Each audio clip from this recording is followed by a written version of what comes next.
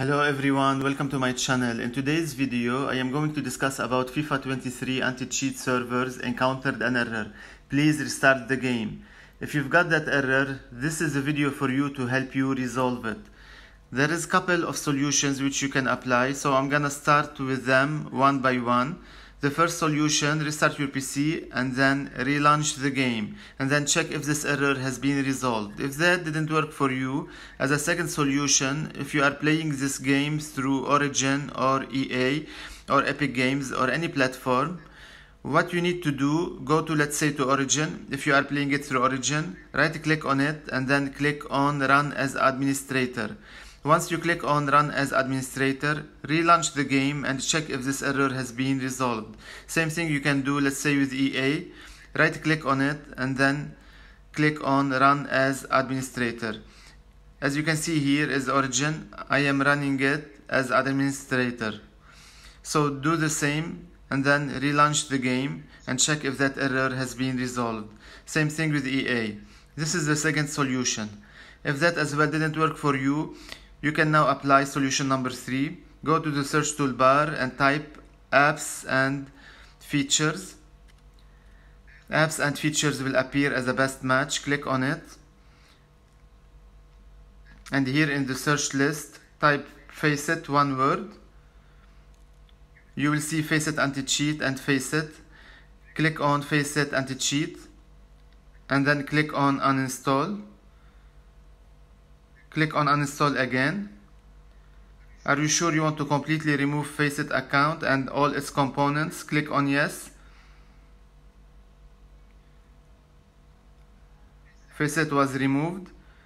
Again go to Faceit here and uninstall it again.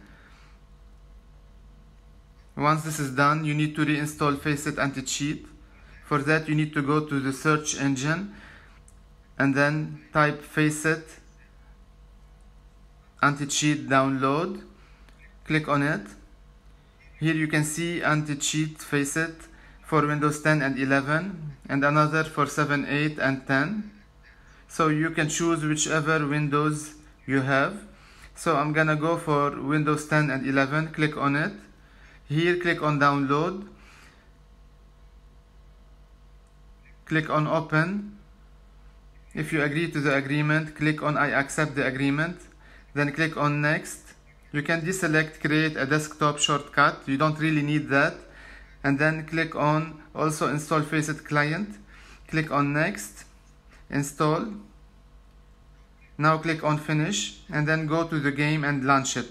It should be working normally now. If that solution didn't work for you what you can do as a last solution go to apps and features again and uninstall the platform that you have used to launch the app.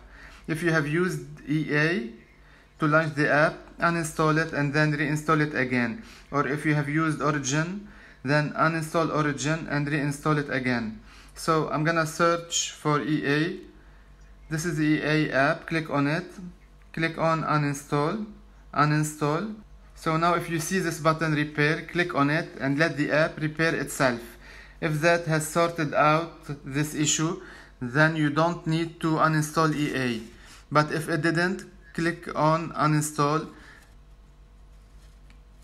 and let the uninstallation be completed and then go back to the search engine and I will guide you how you can reinstall it again. The EA app has successfully uninstalled so click on close and now go to the search engine and type here EA download click on it scroll down a little and then click on download the EA app. Click here and then click on open and then continue the steps until the EA app is reinstalled.